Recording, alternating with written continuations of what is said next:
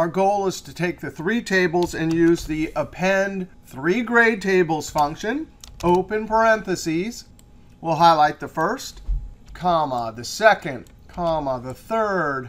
And when I close parentheses and hit enter, I get the field names at the tops and all the records appended. Now this is the crazy array formula we're going to have to create. So be warned, if you love advanced array formula tricks, this is the video for you.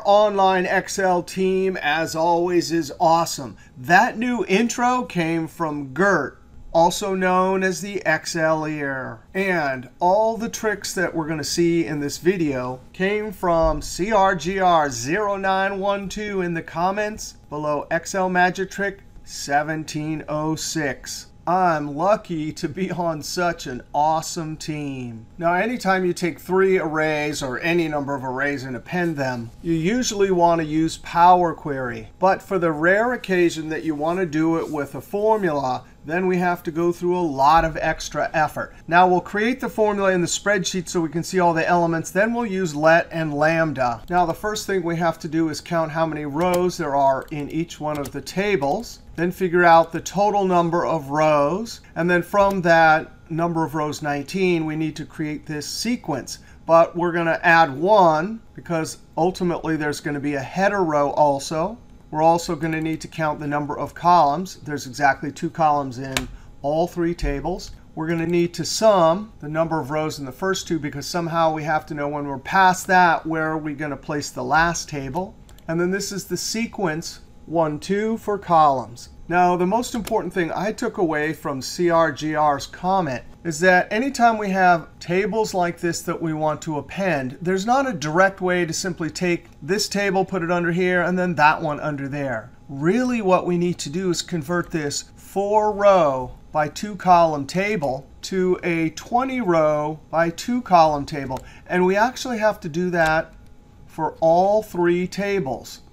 Once we have the same dimension for all three, then we can use a lookup function like ifs and place them based on the position in the row sequence. So before we come over here, I'm, i want to look at the index function because this is the whole trick of creating from this teeny table to a much bigger table. Now the array we're going to look up is whatever size that is, comma, and then the number of rows. Well, if we give it a function argument array operation, which says, hey, give me 1 all the way to 20, well, there are only four rows, so all the rest will be errors, comma. Then we do a function argument array operation and say also get those two columns. Now, when I close parentheses and hit enter, there's our 20 rows by two columns table.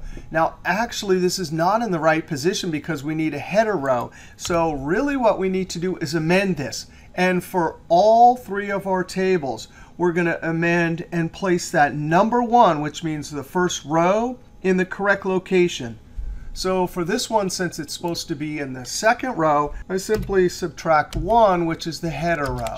Now, F2, let's look right there, F9, you can see it starts with a 0. Now that 0 will force index to pull the first row as a duplicate. But then the subsequent 1 is in the second position, which pulls the first row of that table into the second position in this array of row numbers. And that's the whole trick, getting that number 1 in the right position to place your table. Now, when we get to this table right here, we're going to have to subtract the correct amount so that that 1 actually appears in the sixth position. Control Z. Now, there's a problem because there's a duplicate, but it won't be a problem because when we use the ifs, the first thing we'll pull is the header row. And then when we pull this full table, the header row will already be in place. So that will be hidden. If we use the same idea over here for index, we're looking that up, comma, and we need the numbers 1 to 20. But very carefully, I need to subtract. however many rows are in the first, minus 1, comma, and then we'll get our columns.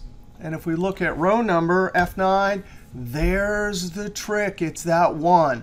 And if you read CRGR's comment, he called all of these ghosts because they're there as placeholders. We're really after moving that 1 to the correct location. Control Z. And now when I hit Enter, that is looking awesome. That one won't appear because this table right here will already have been pulled by the ifs on top of that record. But all of these will show. And then finally, equals index. We're going to look this up. It's got the wrong number of rows, but no problem. The row number argument comes to the rescue. We're going to put in that sequence of row numbers minus whatever the total is from the first two tables, minus 1. If I F9, that is amazing. That 1 is exactly in the correct location, and there's a bunch of ghosts. Control Z, comma. And so now when I close parentheses, now all three tables have the same dimension, so we can use the ifs function and pick out the right row to place our table. So over here, we'll say ifs. That sequence right there is equal to 1, comma. Then we'll just hard code this in. And one thing about this is we're going to assume we always get names and grades. So we're going to hard code it in, in array syntax, open curly bracket, names, in double quotes. We want this to go over a column, so we use comma. And then grade, in double quotes, and then end curly brackets. Let's look what we have so far. Remember, that's 20 rows. So now we get the first and a bunch of errors. All right, now we continue on, comma, when that whole sequence right there is less than or equal to the count of the first one, plus 1 for the header row. And if I look at that, F9, there's all the true values that I need to pull the first table. Control Z, comma, and we already have it over here. So we pull that, close parentheses. Because we pulled the field names first, it's on top. So it covers up that, and then the remaining records show. F2, comma. We need the full sequence. And I want to pull the third array to the bottom. So when it's greater than the first 9, that's the total for the first two tables, plus 1, comma. And then please give me this table here. Close parentheses, Control Enter. That is looking awesome, F2. And then because we're using ifs, comma, I need to put a true here to say, hey, just take this last thing as the default, comma. And there's the default each table being taken one after the other.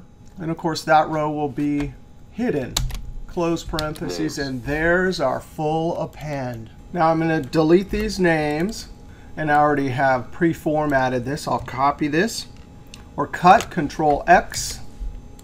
And then write in the top cell, Control V. Names. Now I made an error back in this formula right here when we subtracted from our array of row numbers, I subtracted the total from table number 3 when I really wanted the sum of the first two. I need to subtract 9. So when I edit that and fix it, now the last record, instead of being Lavona, will properly be Athena. When I hit Enter. Value. Now we have the first four from this table right here, the next five from this table right here, and the proper 10 names, including the last one from this table. Now the next step is to use the let function and then the lambda function.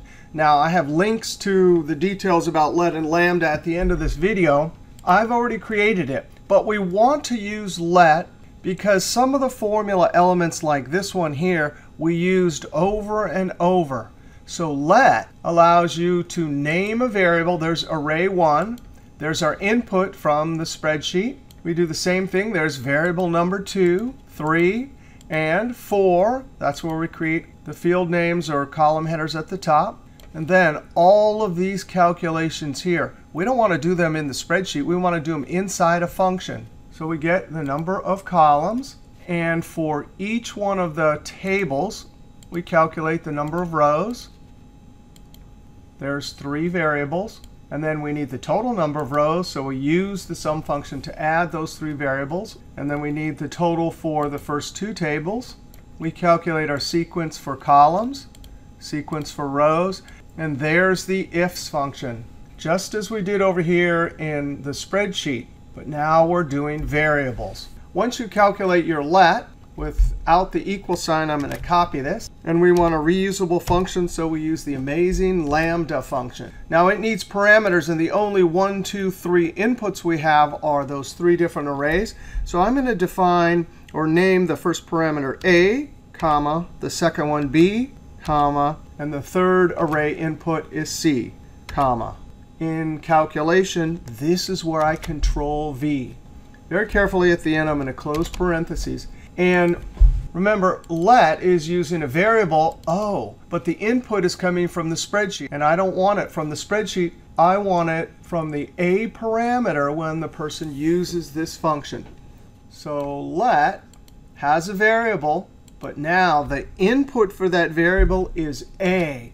That means it's coming from lambda. Remember, lambda only has three arguments. We'll do the same thing here, b, and that one is c.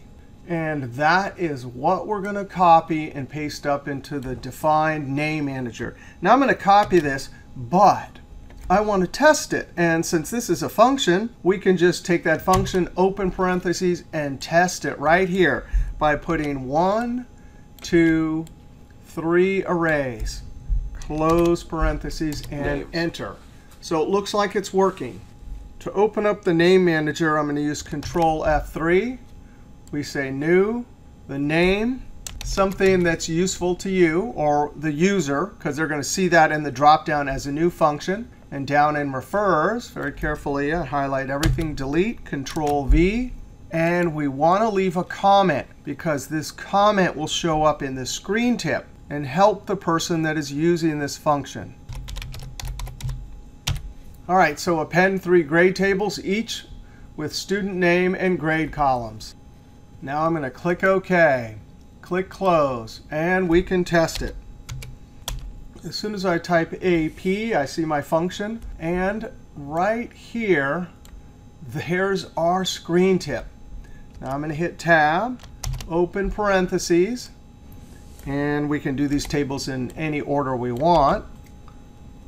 When I enter them as three arguments, close parentheses, that is amazing. Now we get some new data, and we want to use it again.